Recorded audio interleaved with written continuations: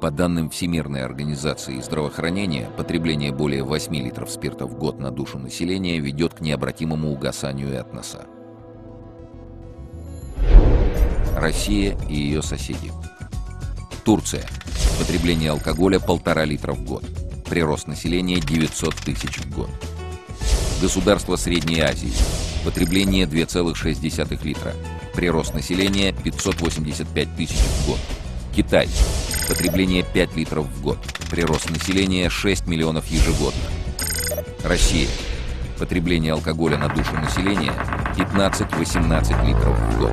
По данным Федеральной службы государственной статистики, с 1992 года средняя убыль населения в год составляет 774 649 человек. Береги себя.